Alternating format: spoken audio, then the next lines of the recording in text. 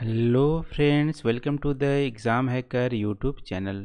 दोस्तों, हमारे यूपीएससी 2017 के प्रीलिम्स में जियोग्राफी और इन्वायरमेंट से टोटल 21 क्वेश्चन को पूछा गया था। उसमें से ऑलरेडी हम लोग यहाँ पे फाइव पाँच प्रश्न को हम लोग डिस्कस कर चुके हैं।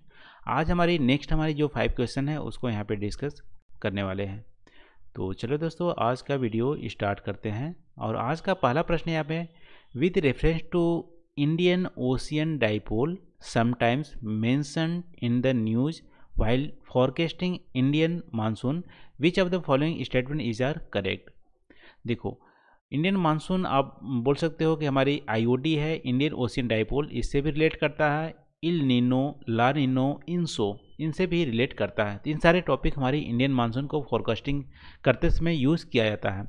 अब यहाँ पे स्पेसिफिक बात किया है कि इंडियन ओशियन डाइपोल के बारे में। तो आपको पता होगा कि जो हमारी इंडियन ओशियन है ठीक है?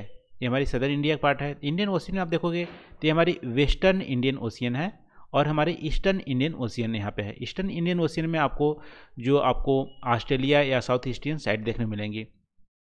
तो यहाँ पे जो इल निनो लानिनो होता है, उसका इफ़ेक्ट भी यहाँ पे देखने, इसी तरह से यहाँ भी देखने मिलता है।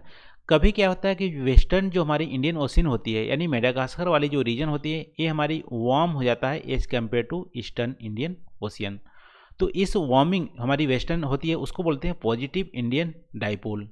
ठीक है? तो पॉजिटिव इंडियन ओशियन डाइपोल जब होती है, यानी कि मेडागास्कर वाला रीजन ज़्यादा वार्म हो जाता है तो इंडिया में मानसून होती है, वो अच्छी होती है मानसून।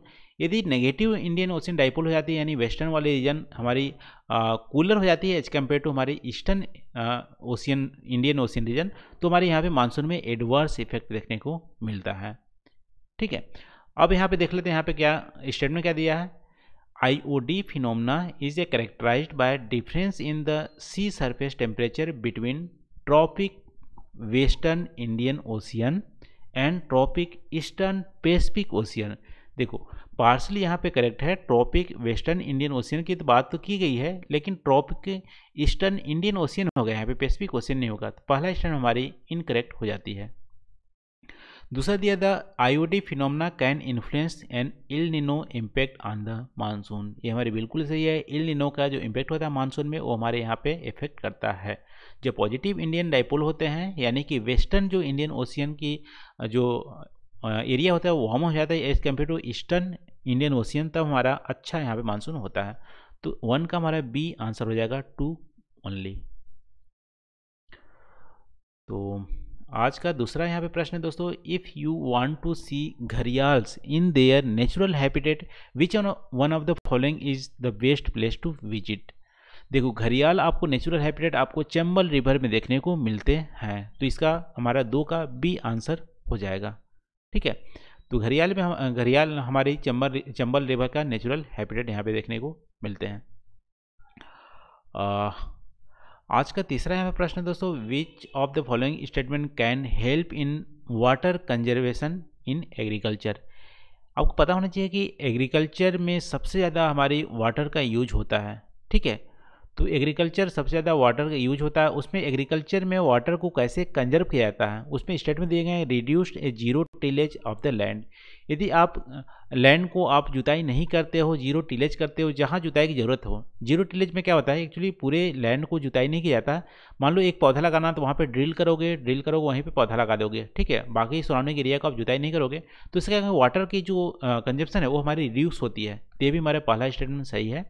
दूसरा है, applying gypsum before irrigation the field gypsum apply करने से भी हमारी वाटर की कंजर्वेशन को कम किया जा सकता है। यहाँ पे, क्योंकि वाटर होल्डिंग कैपेसिटी जो होती है, वो हमारी सवाल की बढ़ जाती है और नीचे हमारी बहती नहीं है, ठीक है? तो जो दूसरा भी स्टेटमेंट हमारी सही है।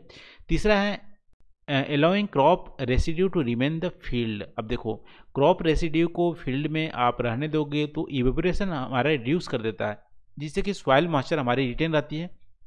तो तीसरा स्टेप हमारी सही है वाटर को कंजर्व करने के लिए। तो यहाँ पे आप देखोगे वन टू थ्री इसका आंसर हो जाएगा तीन का D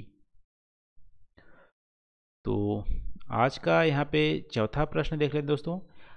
The terms M strips is sometime seen in the news in the context of देखो एम स्ट्रिप्स यहाँ पे मॉनिटरिंग सिस्टम फॉर टाइगर ठीक है? ये किसका इंस्टीट्यूट था? जो हमारी इंडिया में टाइगर जो हमारी टाइगर जो हमारी अथॉरिटी है टाइगर अथॉरिटी ऑफ़ इंडिया वो हमारी इसको मॉनिटर करती है और काउंटिंग करने के लिए टाइगर्स के यहाँ पे यूज़ किया जाता था एम स्ट्रिप ये हमारी कंप्यूटर प्रोग्राम हुआ करता है, ठीक है? सॉफ्टवेयर बेस्ड हमारी मॉनिटरिंग सिस्टम है एम स्ट्रिप तो इसको टाइगर की कंजर्वेशन के लिए यूज़ किया जाता था। तो यहाँ पे आप देखोगे चार का हमारा बी आंसर हो जाएगा मेंटेनेंस ऑफ़ टाइगर रिज़र्व चार का बी तो आज का हमारा पांचवा यहाँ पे प्रश्न दोस्तों in India if species of tortoise is declared protected under schedule one of the wild life protection act 1972 to what does it imply देखो, हमारी वाइल्ड लाइफ प्रोटेक्शन एक्ट जो 1972 है, उसमें पाँच शेड्यूल दिए गए हैं। शेड्यूल वन में हाईएस्ट प्रोटेक्शन दिया गया है। जैसे टाइगर को प्रोटेक्शन दिया गया है, वैसे शेड्यूल वन में यदि किसी की नाम चली जाती है तो हमारी बहुत ज़्यादा प्रोटेक्शन उसको देखने को मिलता है। तो पाँच का ए हमारा आंसर हो जाएगा it enjoy the same level of protection as a tiger यदि शेड्यूल वन में हम टोटाइज का नाम डाल लेते हैं तो टाइगर जैसा प्रोटेक्शन देखने को मिलता है तो पाँच का ए हमारा आंसर हो जाएगा। तो ये रहा दोस्तों फाइव क्वेश्चन आज हमने यहाँ डिस्कस किए।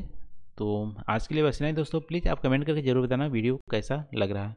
तो थैंक यू फॉर वॉचिंग मिलते हैं अगले वीडियो में नए टॉपिक साथ। Thank you